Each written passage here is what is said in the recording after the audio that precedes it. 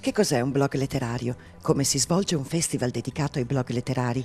Queste sono alcune delle domande che l'organizzazione di Kilit, il primo festival dei blog letterari in Europa, si sente rivolgere più spesso.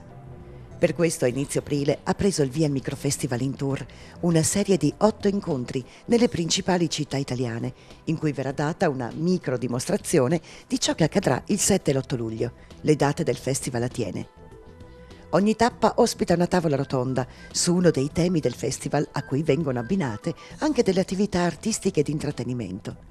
Il risultato è una serata che incarna lo spirito di Kilit, un festival aperto a tutti, interessante non solo per critici letterari, scrittori o appassionati di letteratura, ma per chiunque voglia trascorrere del tempo in modo inusuale, avvicinandosi in modo divertente alla cultura.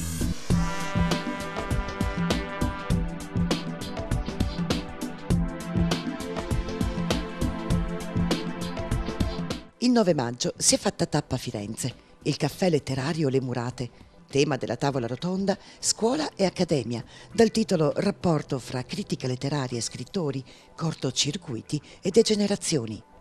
Sono intervenuti Alessandro Raveggi, scrittore, ricercatore e docente di lingua e cultura italiana. Vanni Santoni, scrittore, giornalista e cofondatore di Scrittura Industriale Collettiva. Ad accompagnare la tavola rotonda Le murate sprigionate, mostra fotografica di Domenico Giuliano raccontata dall'autore stesso, a rappresentazione dell'attività artistica, in questo caso dedicata all'arte fotografica, che in Kilit verrà sempre affiancata alle attività dei blog letterari, in un costante mix di letteratura, arte e cultura. Al progetto Kilit è stato assegnato il premio Città Impresa 2012, promosso dal Corriere della Sera ai Nord-Est Europa, per il contributo portato attraverso la sua attività creativa allo sviluppo economico, sociale e culturale del territorio e dell'intero paese.